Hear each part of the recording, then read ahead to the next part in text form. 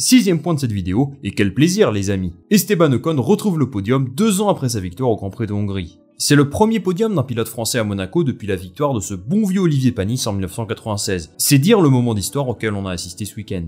Alors franchement, je suis très heureux pour lui, et c'est surtout archi mérité. Il a sorti un tour de patron en qualif, et grâce à la pénalité de Charles Leclerc, il s'est retrouvé en troisième position sur la grille de départ. Il a été mis sous pression par Carlos Sainz, puis par Hamilton, son équipe fait un arrêt au stand d'un poil trop long, mais malgré tout ça, il a résisté et réalisé une excellente course. C'est le premier podium d'Alpine depuis le Qatar en 2021, et je dois vous dire que ça faisait vraiment bizarre de voir Alonso et Ocon sur un même podium. Abonne-toi pour ne rien manquer de l'actu de la F1.